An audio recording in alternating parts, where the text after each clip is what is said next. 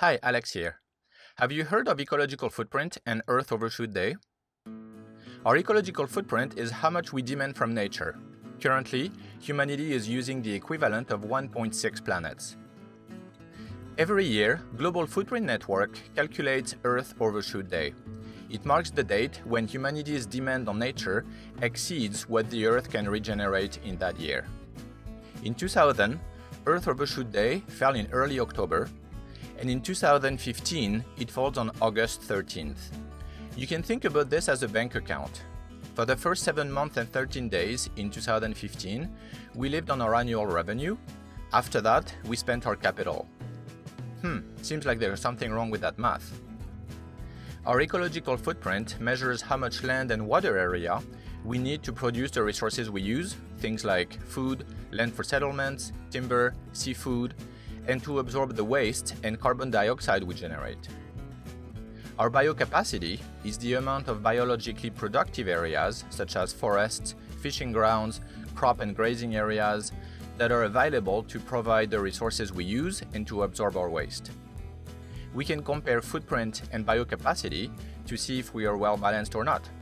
So, why do we care about humanity's ecological footprint? The cost of ecological overspending are evident every day in the form of deforestation, drought, biodiversity loss, and the buildup of carbon dioxide in the atmosphere. Ecological overspending also can put nations at more risk. Without sufficient resources, it is hard to operate an economy.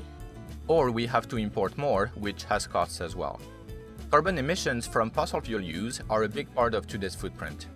Today, humanity's carbon footprint makes up 54% of the world's total ecological footprint. If we continue business as usual, we would need the resources equivalent to two planets by 2030.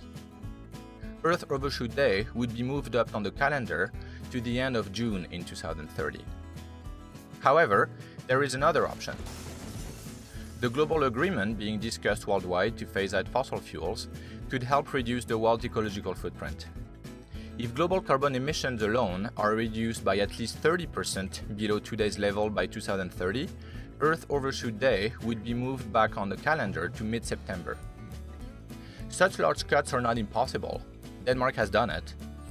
Since the 1990s, Denmark reduced its carbon emissions by one third.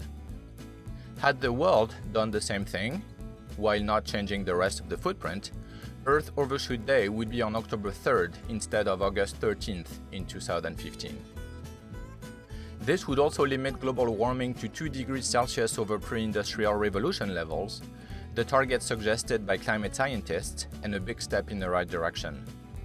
I am sure hoping that the United Nations climate talks in Paris at the end of this year will help us do just that.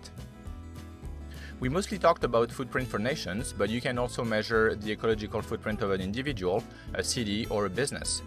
I calculated my ecological footprint on Global Footprint Network's website, and it is around 3.9 global hectares. I live in Canada, which has a footprint of 7 global hectares per person. Why is mine smaller? Well, mostly thanks to my lifestyle. I try to not eat very much meat, I drive little, and I live in a highly energy efficient house. The ecological footprint helps me understand our relationship to the planet. So if you want to give us a hand, you can start by calculating your own footprint on footprintcalculator.org. This video was created in collaboration with Global Footprint Network, an international think tank that coordinates research, develops methodological standards, and provides decision makers with a menu of tools to help the human economy operate within Earth ecological limits. If you enjoyed this video, please subscribe and share it with your friends and colleagues. Our free sustainability videos are financed with an honor system. If you think, like us, that it's important work, you can contribute the amount of your choice by clicking on the orange button. And as usual, thank you for watching.